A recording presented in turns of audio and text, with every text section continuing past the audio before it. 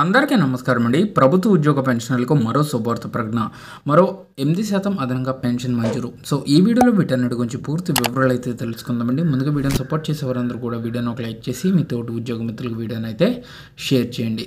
ఛానల్ని first time కనుక visit చేసినట్లయితే తప్పనిసరిగా సబ్స్క్రైబ్ చేసుకుని పక్కన ఉండే బెల్ సింబల్ని యాక్టివేట్ చేసుకోండి.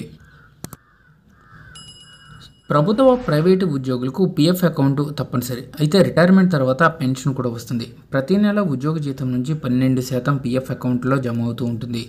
సో అయితే ఈ పెన్షనరు ఎనభై యాభై ఎనిమిది ఏళ్ళ నుంచి కాకుండా అరవై ఏళ్ళ నుంచి పెన్షన్ అందుకోవడం ప్రారంభిస్తే ఏకంగా ఎనిమిది శాతం అదనంగా పెన్షన్ లభిస్తుంది. అయితే పెన్షనర్లు అందరూ కూడా యాభై ఎనిమిది సంవత్సరాల నుంచి పెన్షన్ అయితే అందుకుంటారు. సో అలా కాకుండా అరవై సంవత్సరాల నుంచి పెన్షన్ అందుకునేలా ఆప్షన్ పెట్టుకుంటే మనకు మరో ఎయిట్ పర్సెంటేజ్ అయితే అదనంగా పెన్షన్ లభిస్తుంది. దాని గురించి తెలుసుకుందాం. ఒక వ్యక్తి పదేళ్ళ పాటు భవిష్య నిధికి ప్రతి నెల కొద్ది మొత్తం జమ చేస్తే యాభై ఎనిమిది ఏళ్ళు నిండేసరికి పెన్షన్కు అర్హుడవుతాడు. అయితే అదే పెన్షనర్ యాభై ఎనిమిది ఏళ్ళ నుంచి కాకుండా అరవై ఏళ్ళ నుంచి పెన్షన్ డ్రా చేస్తే అదనంగా పెన్షన్ పొందవచ్చు. అంటే అరవై ఏళ్ళ నుంచి పెన్షన్ తీసుకోవడం మొదలు పెడితే ఎనిమిది శాతం అదనపు పెన్షన్ అయితే వర్తిస్తుంది. పదేళ్ళ పాటు జీతం నుంచి కొంత భాగం ప్రతి నెల పిఎఫ్ అకౌంట్లో జమ చేస్తే చాలు. ఎవరికైనా పెన్షన్ లభిస్తుంది. పదేళ్ళ కంటే తక్కువ వ్యవధిలో పీపీఎఫ్ అకౌంట్ కలిగి ఉంటే మధ్యలో ఎప్పుడైనా పెన్షన్ కోసం డిపాజిట్ చేసిన మొత్తాన్ని విత్డ్రా చేయవచ్చు. ఈపీఎఫ్ ఖాతాదారులకు రిటైర్మెంట్ తర్వాత పిఎఫ్ ఫండ్ నుంచి ప్రతి నెల పెన్షన్ అయితే అందుతుంది.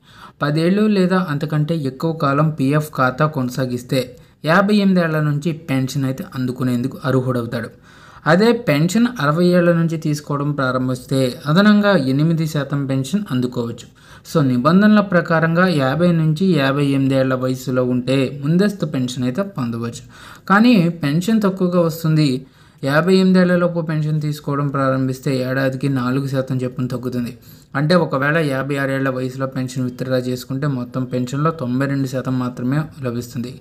పిఎఫ్ ఖాతాలో పదేళ్ళు పూర్తయిన యాభై ఏళ్ళలోపు మీ వయసు ఉంటే పెన్షన్ క్లెయిమ్ అయితే చేయలేరు. ఉద్యోగం వదిలేస్తే మాత్రం పిఎఫ్ నిధులను మాత్రమే విత్డ్రా చేసుకోగలరు. పెన్షన్ మొత్తం యాభై ఎనిమిది ఏళ్ళ తర్వాతే లభిస్తుంది. అదే యాభై ఎనిమిది ఏళ్ళకు కాకుండా అరవై ఏళ్ళ వరకు వేచి చూసి పెన్షన్ పొందితే మాత్రం అదనంగా ఎనిమిది శాతం ఏడాదికి నాలుగు శాతం పెరుగుతుంది.